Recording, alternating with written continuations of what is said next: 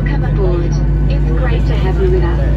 At Virgin Australia, your health and safety come first.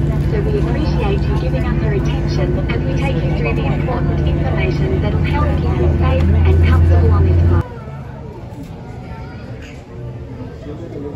Cigarettes too. If you need a hand with anything, let us know and we'll be right with you.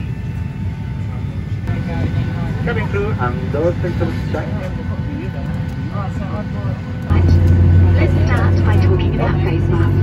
They might not be ideal, but they are mandatory. So thanks for wearing yours.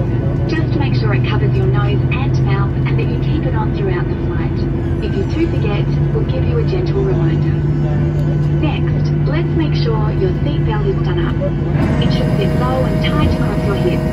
To fasten, push the ends together until they click, then adjust the strap so it fits well. To release, just flip the buckle. When the seatbelt sign is on, your belt should stay on too. And even if the it's best to keep your seatbelt fastened, in case we hit a patch of turbulence. As we'll be cruising at high altitude, the cabin will be pressurized. If we do need oxygen, masks will drop from the unit above you.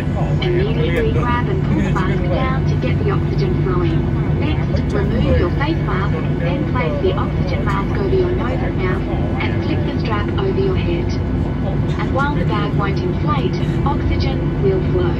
Just breathe normally and remember fit yours first before helping others. There's a life jacket under or beside your seat. If it's needed, retrieve it and remove it from the bag. Slip it over your head and pass the strap around your waist.